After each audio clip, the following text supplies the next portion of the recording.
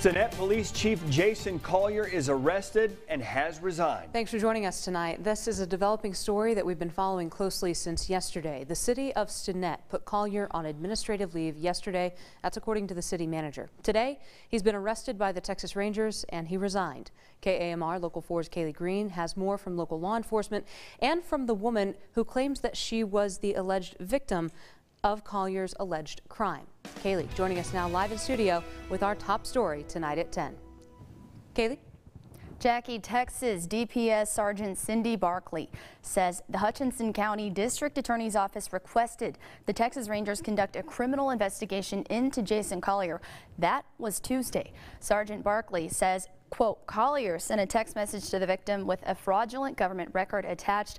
The document was a fraudulent marriage annulment.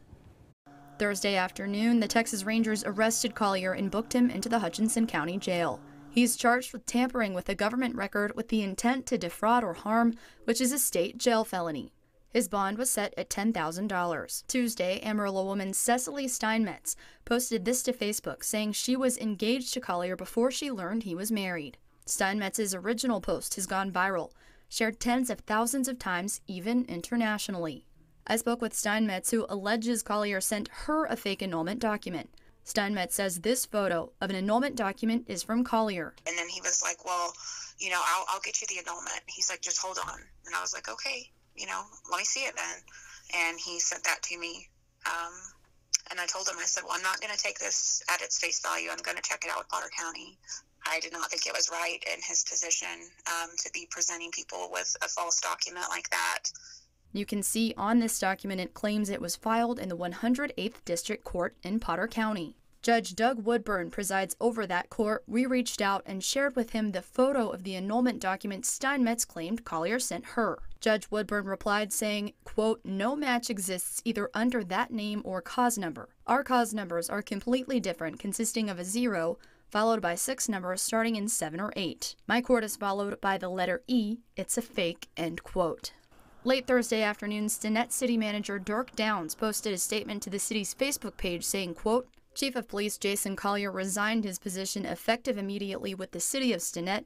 The city has accepted his resignation. Per city policy, we will have no comment about his personal matters. When asked what she hoped to accomplish by posting about Collier, Steinmetz said she wanted to raise awareness locally and for Collier to be held accountable. I would just hope that he has learned his lesson um, not to deceive people like that. Um, I was also more apt to believe him about everything due to his position. I mean, I would think that that would be a very upstanding person and a very honest person, and that is how he presented himself.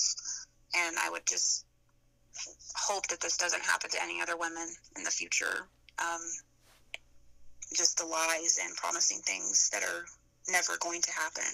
There's just no reason to drag people and their children into that. Sergeant Barkley tells me the criminal investigation by the Texas Rangers into Collier is ongoing.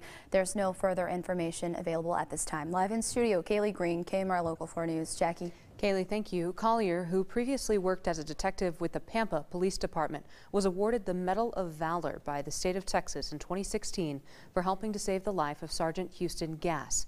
Collier and three other officers were awarded for their quick thinking in getting Sergeant Gass to safety after he was shot in the face during a standoff. This story continues on myhighplains.com. You can find the latest updates as we learn more information.